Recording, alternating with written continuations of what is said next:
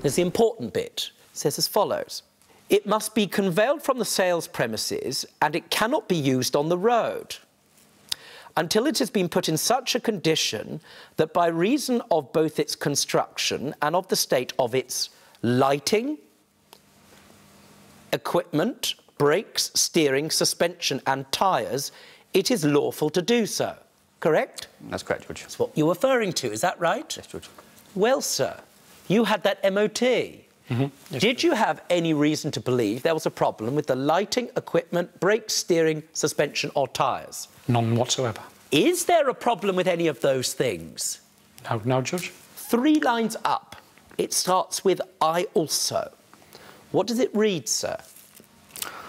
I also understand that this vehicle does not enjoy a current MOT certificate and that... Stop there!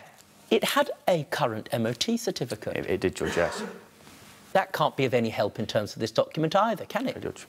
Understood. Sir, can you read? It says I. It's the last bit of that document. I also understand that this vehicle does not... No, no, oh, I understand I understand that, that my statutory rights are not affected. Thank you very much. I understand that my statutory rights are not affected. Did you understand what his statutory rights were with buying a vehicle? Yes. What are his statutory rights? What law governs his relationship with you? Is it the Consumer Rights Act? Is it the Sale of Goods Act? Do you know? Rights Act, yeah. Very good. Yeah. Thank you, sir. Where does it say on here, this is a spares and repairs car? The sales on roadworthy vehicle is basically another term. It's another term? Yeah. Well, I'm not a professional. Yeah. But if I was going to buy something that said spares and repairs, I'd expect it to say spares and repairs. Does it say that? It doesn't, Judge, no. Now, before we proceed, Ian. Yes. You've now got a big bill. Is there anything you'd like to add? Um, I, I, just think he's, he's, I've come along and he's totally ripped me off, basically. Steve? I disagree.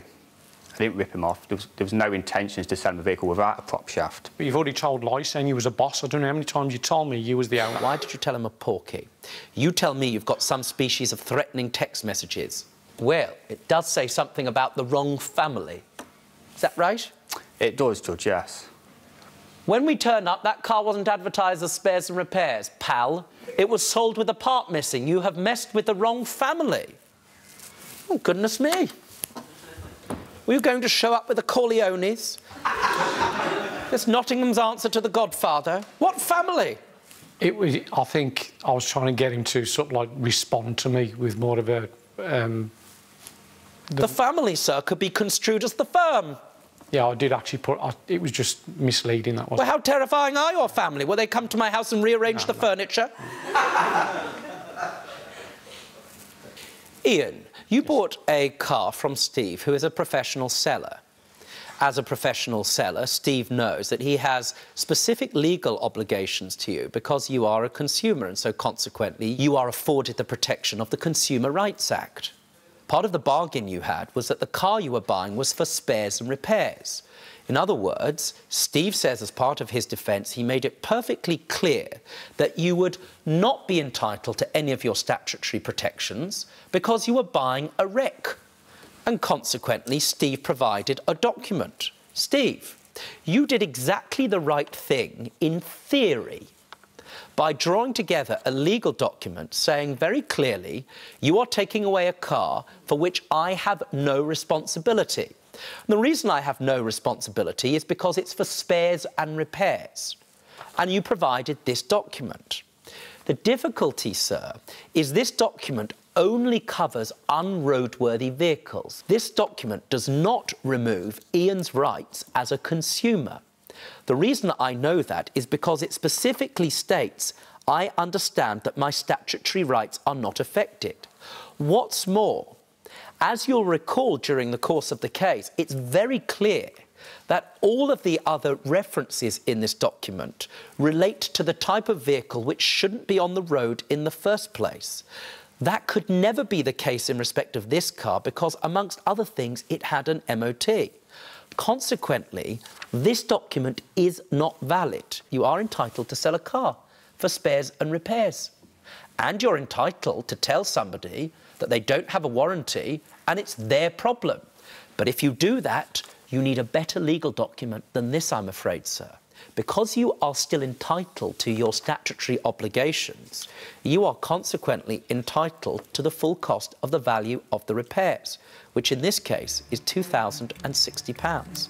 Sir, you may run a perfectly valid business despite that porky. You need to get this document updated. The order of this court is £2,060. Ian won his case and was awarded £2,060 by the court. Let's find out how both parties felt about the judge's ruling.